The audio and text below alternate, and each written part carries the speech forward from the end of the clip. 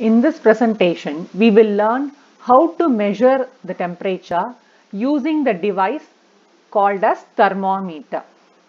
We already learned that heat is a thermal energy which always flows from the warmer objects to the cooler objects. So heat is nothing but the flow of thermal energy from one object to another. So when you consider in this image, when you place a hot water cup on your palm, your palm will get warmer because the heat flows from the cup to your palm.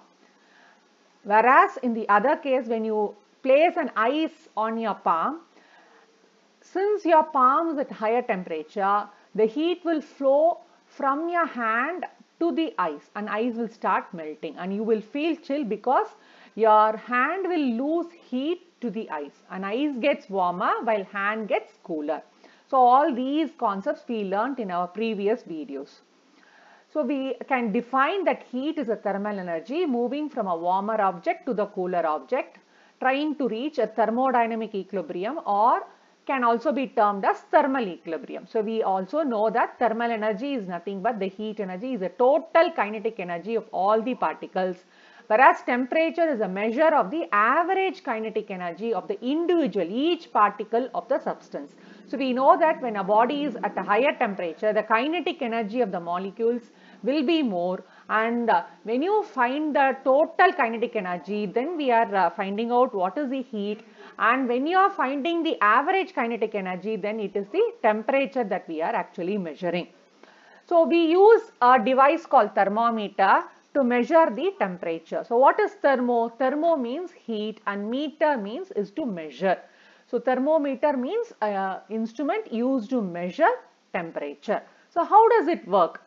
It works mainly with the principle that liquids will expand or change in volume depending on the temperature. That is, it will expand when there is an increase in temperature and it will contract when there is a decrease in temperature. So the liquids expand on heating and contract on cooling is the main principle of the working of a thermometer. We also know that thermometer is filled with a liquid either with a mercury or with alcohol so it contains a glass tube, a very hard glass tube in which there will be a bulb as you see here.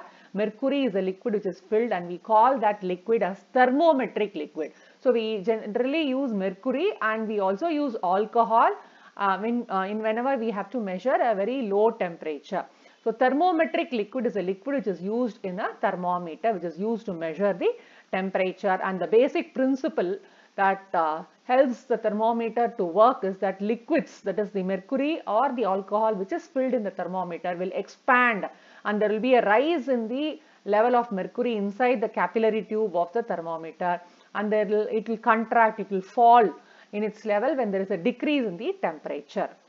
So when you consider the basic working principle of a thermometer, we should understand a special law called a zeroth law of thermodynamics of course, this is not in your book, but it is just an important concept that you should know.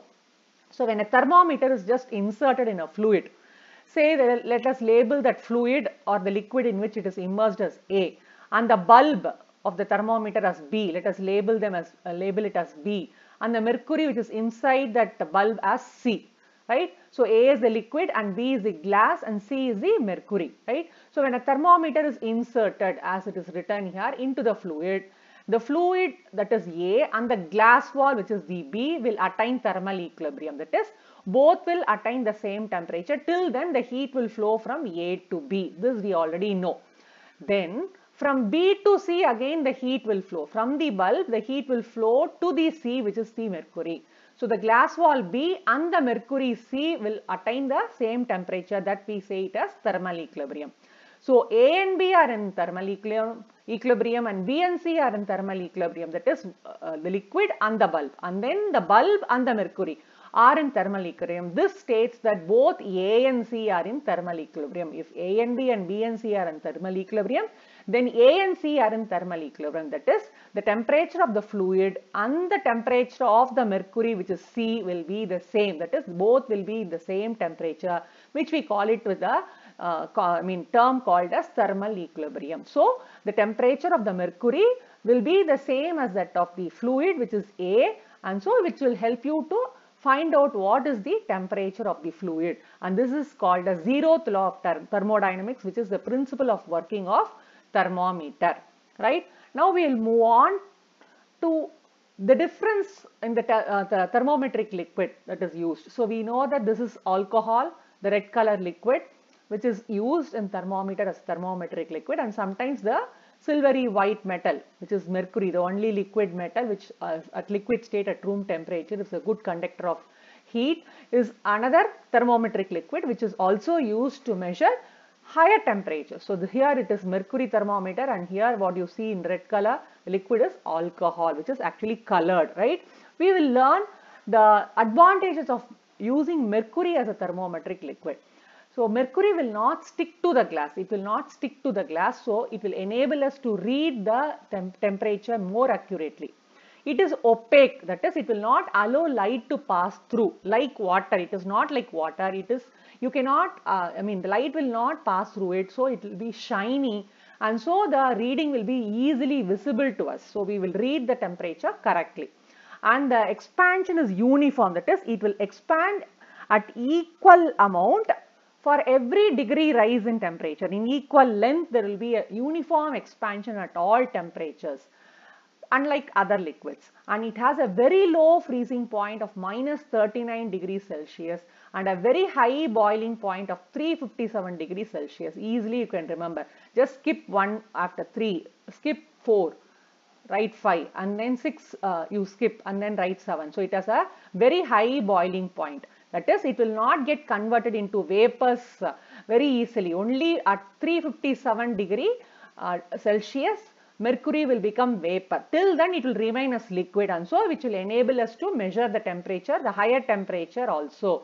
And that is why we use mercury in thermometers to measure temperature. And it is easily available in pure state without any impurities and as I told you it will not become vapor non-volatile means it will not get converted into vapor only at a higher temperature of about 357 degrees Celsius it will get converted into vapor. So hence vapors are not formed in the empty part of the thermometric uh, tube so which will affect the uh, measurement of temperature. So these are the important points that you have to remember which are the properties of mercury which enable us to use it as a thermometric liquid.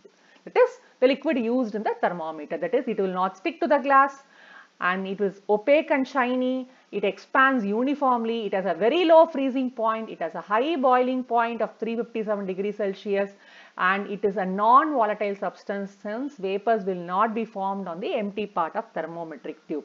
Whereas alcohol, if you just uh, take, it expands six times more than that of mercury. It expands evenly and it is mainly used to measure very low temperatures and because it has a very low freezing point usually uh, it is uh, used to measure a very low temperature. It is very safe and cheap unlike mercury. But we cannot use alcohol uh, for measuring higher temperatures. It can only be used for measuring lower temperatures. You can easily color them. It is dyed actually. You can easily color them. It is actually colored already so it is sometimes not be very uh, useful to use and it wets the tube it will stick to the tube it does not respond quickly with temperature and a very low boiling point so cannot be used in hot places. So these are the disadvantages which is actually not given in the book. It is enough if you learn the advantages. It expands evenly and it is as a very low freezing point so it can be used for measuring very low temperatures. It is safe and cheap. So these are the properties of alcohol which enable us to use it in the thermometer. So just learn these advantages of using mercury as a thermometric liquid. This is a detailed answer which you can expect for the exam. Thank you. Hope you followed.